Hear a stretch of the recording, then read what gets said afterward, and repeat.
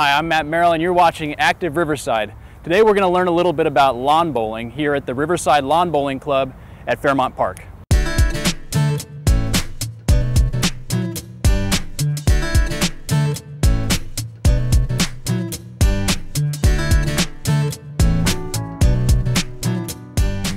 I'm here with Mike Bright of the Riverside Lawn Bowling Club to walk us through uh, some of the finer points of lawn bowling. Now, a lot of people in Riverside probably don't know that we have a lawn bowling club, let alone uh, how to play lawn bowling. Um, can you tell us a little bit about the history of the club? Sure. Lawn bowling is an English game, probably two or three centuries old, and the early English population of Riverside started the club in 1926. And subsequently from its location at that time, it was moved to Fairmount Park in about 1946 and we have three greens now, which can accommodate probably around 250 bowlers. Each green has on it eight rinks, and rinks are the defined boundary of each of the lawn bowling games, and they are basically 14 feet wide. All right, now, I don't know how to play. Uh, how, how would we get a game started?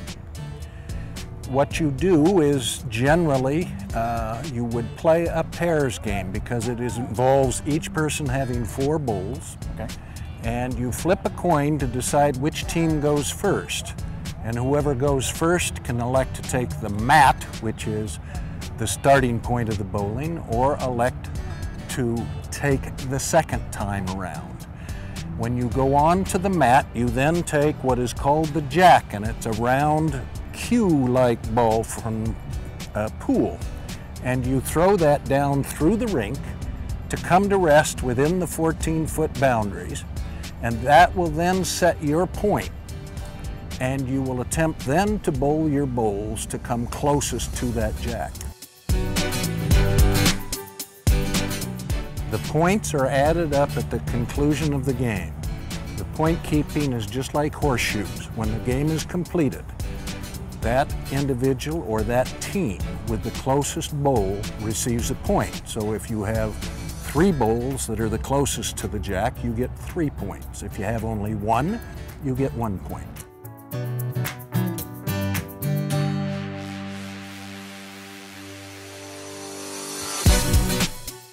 Can I hit the jack? Yes. To replace the jack closer to mine? Yes. That becomes a part of the game as you become a better bowler. You are much more able to control the curve on the bowl. And oftentimes a tactic is to hit that jack and either end the game by knocking the jack outside the 14 foot rink or driving it to the end of the rink which is called the ditch. It, the jack remains there and still the objective is to get as close to that jack in the ditch as you can without going in the ditch. Ah, okay. Well, that sounds pretty difficult. It is. Matt, in terms of the game being played itself, let you and I go through the process if okay. we might. Absolutely. Here's the jack, and I have set down on the grass the mat where we begin the game. We use a mat to protect the green surface because they're very, very fine kept greens, much like a putting green in golf. Now you step onto the mat with the jack. Okay. Either foot? You must, yes, either foot, but you must keep one foot on the mat at all times. Now we've described the, the rink as between the two reds down there, green being your center. Okay. Aim your jack at the center line towards the uh, bowler down there who's waiting for you to deliver it. Okay. Let's see how this goes.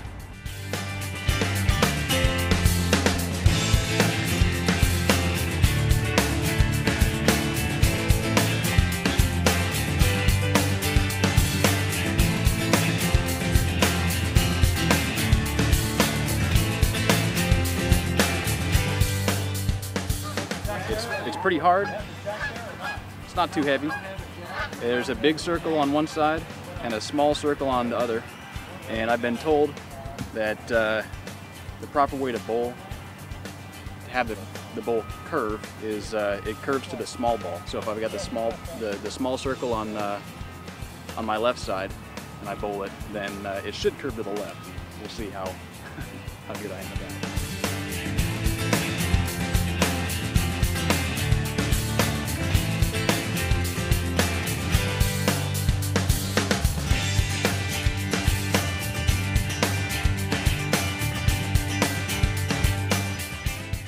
Whites are generally worn when there is a tournament.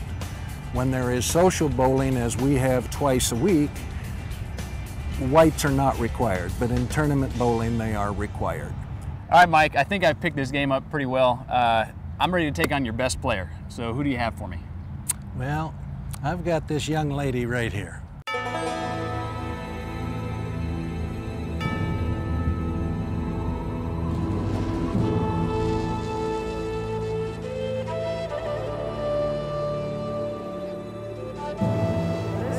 toy, toy, toy, toy.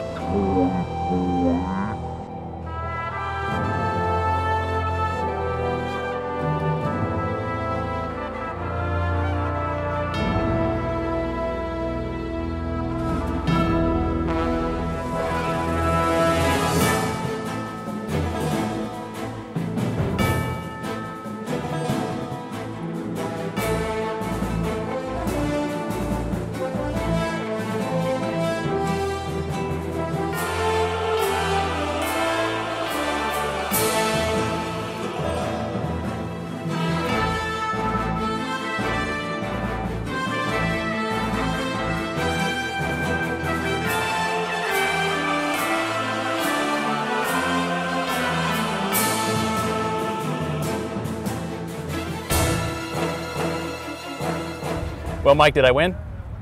Well, you won for coming out and having participated.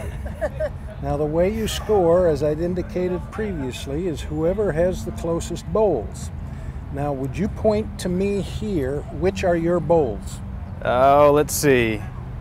Here's one. Uh, there's one. The one in the ditch is yours, uh, yes, and then uh, this one also. as well as. Uh, no, I think those. Mine's my other one's in the ditch. All right. then, who's ever closest to the jack, and that's Lucille. Okay. She wins the point. You're the second closest, so she gets one point.